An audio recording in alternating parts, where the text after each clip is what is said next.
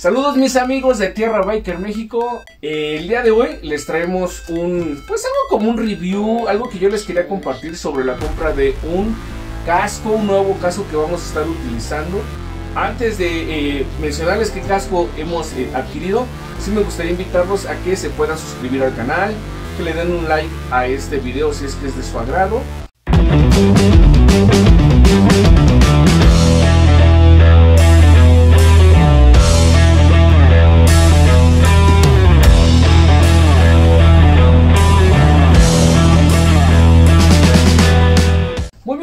Pues ya que hemos regresado de la intro, eh, tenemos un casco que compramos en la página de FC Moto.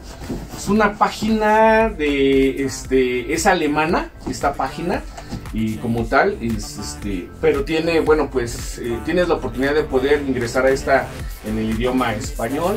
Tuve que pagar un impuesto aduanal de alrededor de 1.340 y 50 y tantos pesos.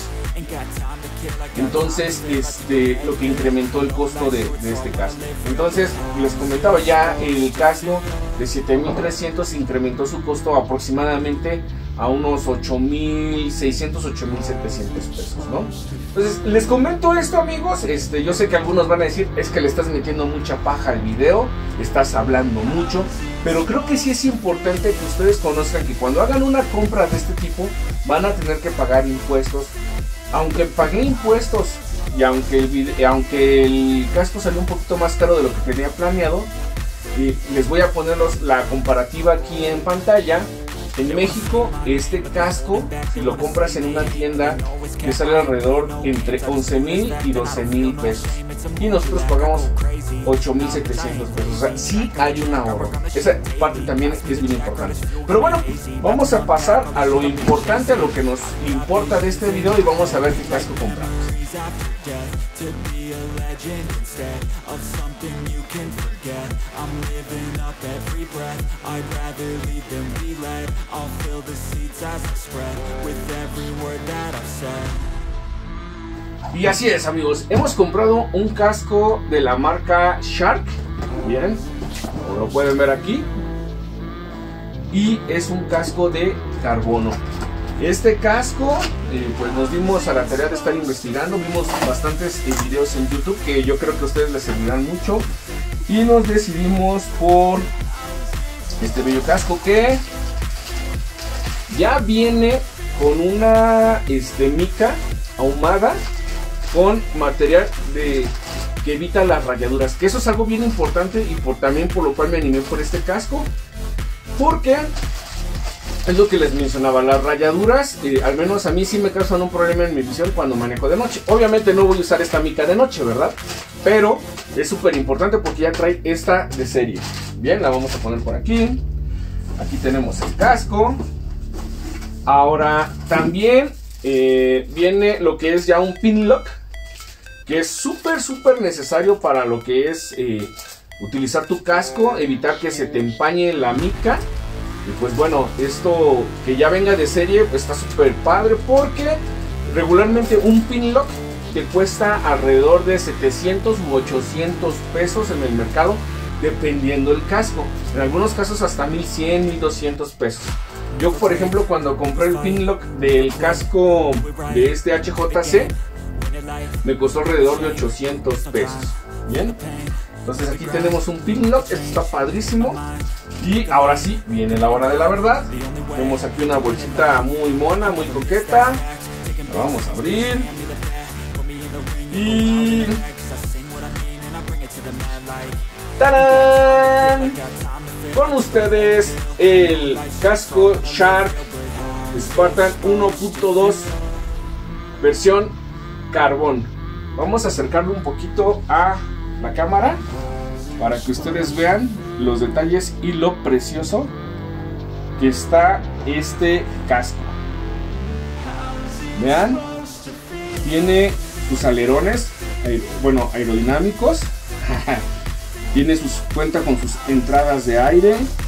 Esta de aquí también, que muchos dicen que esta es más que una entrada, una salida. Viene con su mica antirrayaduras. No cuenta con broche, lo que nos pudiera tal vez afectar un poco en lo que es este, cuando vamos muy rápido, pero la mica se siente bastante firme. Ah, la verdad es que está hermoso, amigos. Este, también tenemos lo que es, viene con estas que son eh, tiras antirreflejantes que por lo que yo estuve investigando de este casco resulta que en Francia es obligatorio que pongas estas eh, micas reflejantes bien tenemos este viene eh, este casco ya viene con lo que es el cierre de doble hebilla. Aquí no, no sé si lo alcancen a, a ver porque tenemos muchas este etiquetas aquí este cierre de, doble villa es el que, pues, es muy viejo, pero es el más seguro que hay. Algo bien importante, espero que se alcance a ver en la cámara, es que este casco ya cuenta con guías por si necesitas utilizar lentes, que es algo que yo necesito utilizar mis lentes cuando manejo de noche. Este, los puedes, este, aquí tiene eh, ya lo que es eh, esta parte de aquí está adaptada para que puedas usar tus lentes. Y bueno, cuentan ya con sus visores por si traes la mica transparente no tengas que estar este, haciendo el cambio.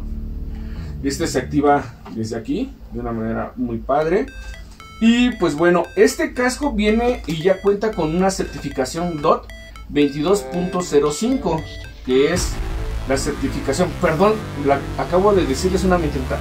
Cuenta con la certificación S que es la certificación europea en la, versión 22.05 que si muchos se han puesto o se han dado la tarea de investigar podrán eh, darse cuenta que esta certificación ya fue actualizada. Actualmente ya contamos con la 22.06 y bueno si quieren saber más acerca de certificaciones de casco les recomiendo un canal que yo he estado viendo que se llama Hablemos de Motos el cual es buenísimo.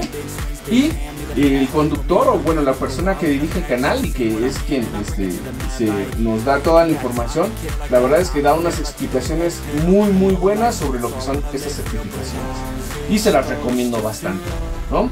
este casco pesa alrededor de 1455 gramos y si lo comparamos con el peso del este de lo que es el HJC créanme que sí hay una gran diferencia otra cosa que me animó también a buscar ya un casco, sobre todo en este caso que es un casco de entre turismo y circuito, es el ruido.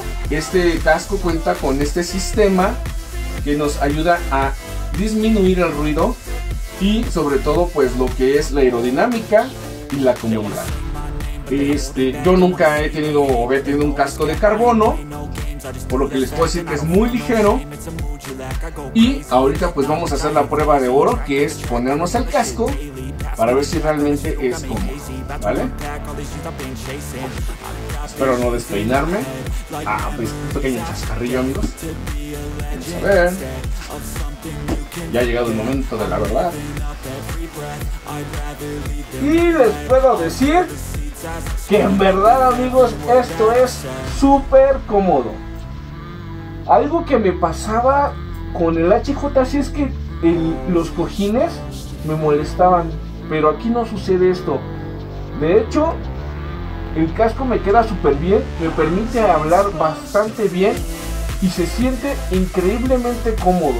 Eh, puedo mover el cuello súper bien, arriba, abajo y la verdad es que sí, sí es lo que promete me lo voy a quitar porque tal vez no me escuchen muy bien. Pero en verdad que es muy cómodo. Los colchones se sienten de una calidad extraordinaria. Este, les puedo decir que creo que hice una muy buena compra. Ahora ya nada nos falta hacer una pequeña prueba, pues obviamente en Jamaica Green. Pero en verdad que el casco se siente súper bien. Ahora la prueba que vamos a hacer es en la calidad del audio y pues cómo se sentiría después de traerlo un cierto rato en la motocicleta y todo esto. Pero también este casco cuenta con lo que es la certificación Sharp, que es algo diferente, en donde cuenta con cuatro estrellas. Esta certificación, este casco no puede alcanzar las cinco estrellas porque cuenta con lo que son estos visores este que baja. Entonces, todo casco que cuente con este sistema nunca va a alcanzar, aunque sea muy bueno, la certificación este, de 5 estrellas. Bien, muy bien, amigos, pues ya hemos ido a dar lo que es una vuelta eh, con este precioso casco Shark. Este, ¿Qué les puedo comentar o cuáles serían mis conclusiones?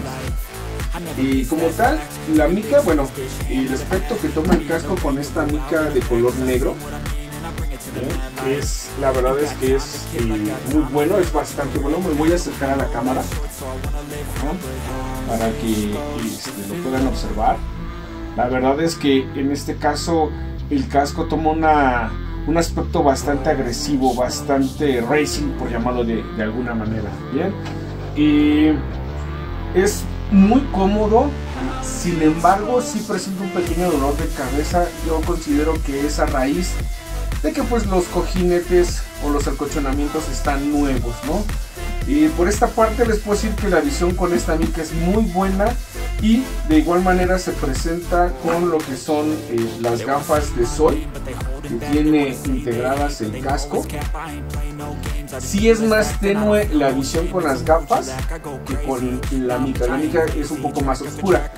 Las utilicé, las utilicé combinadas y sí tiene una, una buena visión. Realmente no es que se oscurezca tanto, es cómoda y nada agresiva para lo que es eh, la vista.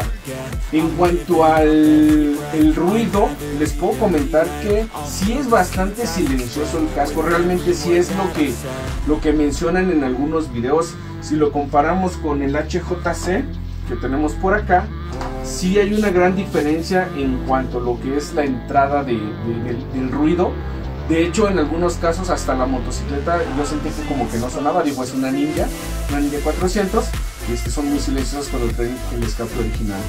Este, a diferencia del HJ6, se los comenté creo que al principio, el HJC cuenta con unos cojines en la parte de aquí, un acolchonamiento que realmente sí es algo molesto.